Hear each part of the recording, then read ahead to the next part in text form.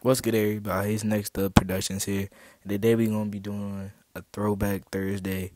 Every Thursday, I'm gonna try to release a video with a throwback player, and today we're doing Carsen Edwards, Purdue guard. So Carsen Edwards at Purdue was very interesting going into the draft because he had a very long leash, as we'll see in this video.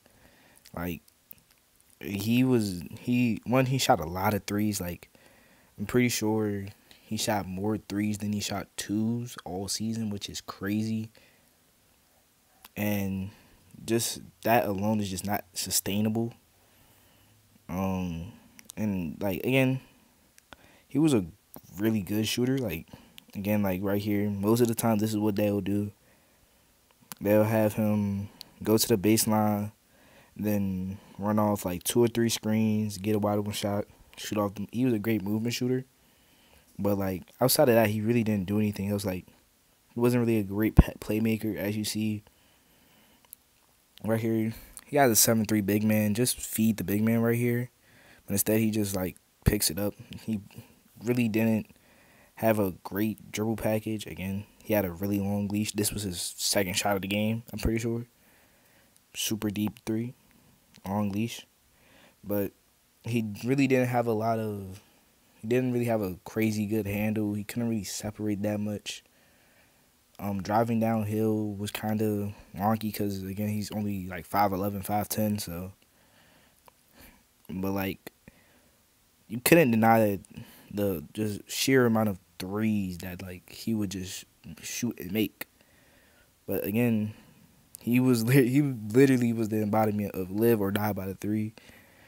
And again, when they went down, it was electric. But some games they didn't go down, and it was just kind of like he's forcing it. Like I'm pretty sure in this game he shot like eight. I think he shot like less than ten shots in the shots in the uh, shots in the three point line, and then shot like sixteen shots outside. But he still ended with forty two. So like, it's kind of like, what do you say to that? Like, do you? Uh, and again, like I said, he didn't really separate. Like he, most of his shots were just tough shots. And again, he wasn't really a good playmaker, as you'll see right here. Kind of gets stuck right here and just throws a bad pass. Like, he wasn't a good playmaker. Again, didn't really create a lot of separation, but was a super tough shot maker. Like, even when you go to like some of his NBA games, like I'm pretty sure he had like a 30 point game his rookie season. Even when you go back and watch that game, it was just straight tough shots. Like he never really he never really uh never really just created space as you see right here. Like he's boxed. Like as a shorter guard, you have to be able to create space.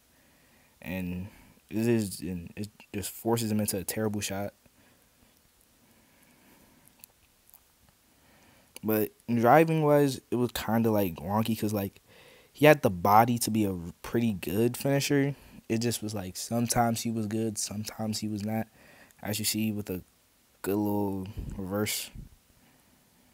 And again, the just the, just the sheer three point prowess he had was ridiculous. And like I said, like he had the body to be a great finisher, but he just never really was it. Like he didn't really have great touch around the basket.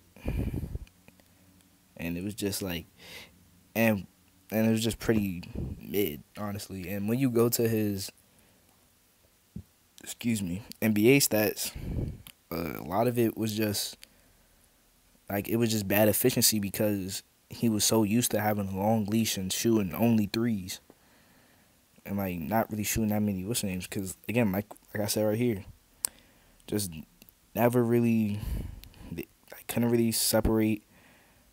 Would drive, he would drive into a lot of help and just get himself in trouble. And again, like as a shorter uh, guard, you could, you probably could have just been able to float this over top of him, but he tried to like power through him for some reason. And again, the handle wasn't that good. As you see right here, he tries to snake and kind of just loses it. and ends up turning it over.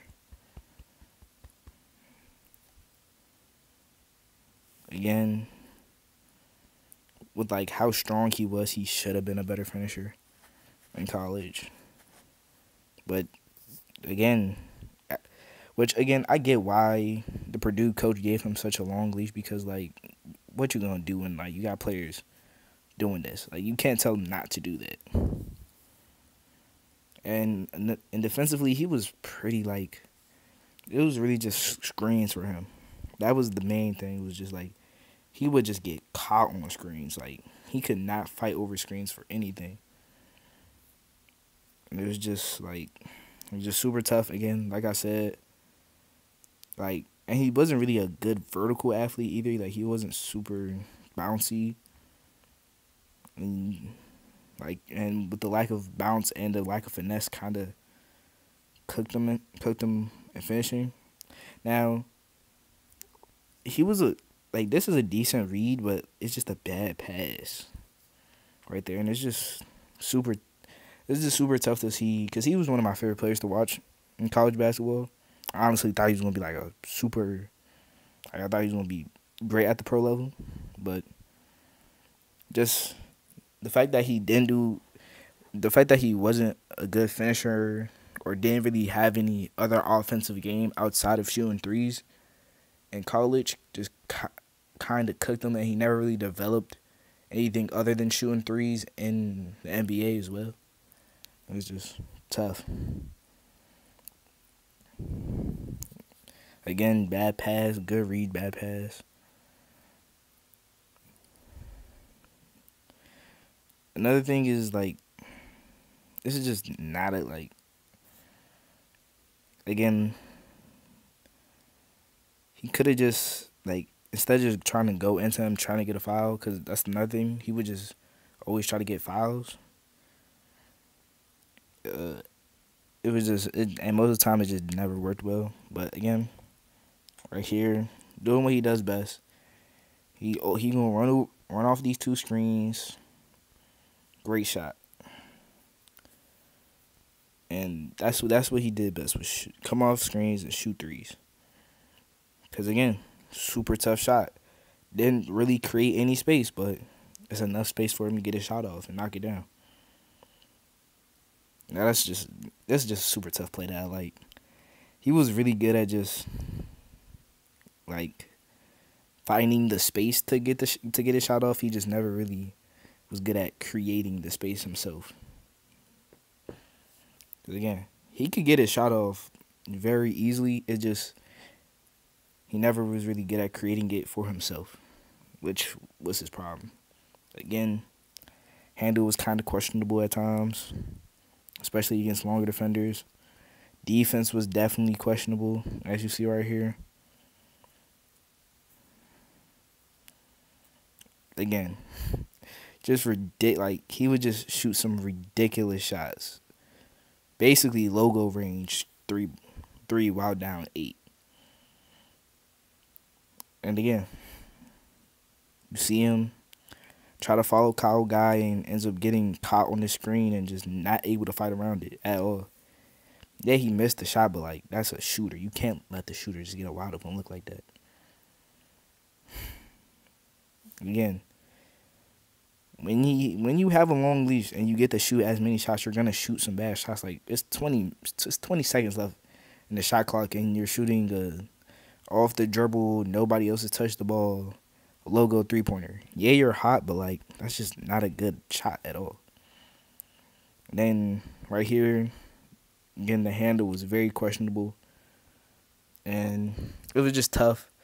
I feel like Carsen Edwards is like when we talking about just pure, pure purely three point prospects, he's up there with some of the best. It's just he never really developed any other part of the game besides shooting threes, and that's what kind of cooked him.